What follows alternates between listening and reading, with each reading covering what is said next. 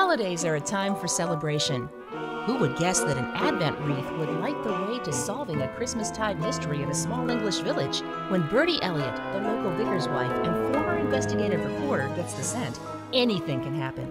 Berdie unwraps far more than Christmas presents when murder rocks the village. Lively newcomers, secret identities, a clandestine wedding, and a dissenting constable add to the adventure of unraveling the mystery.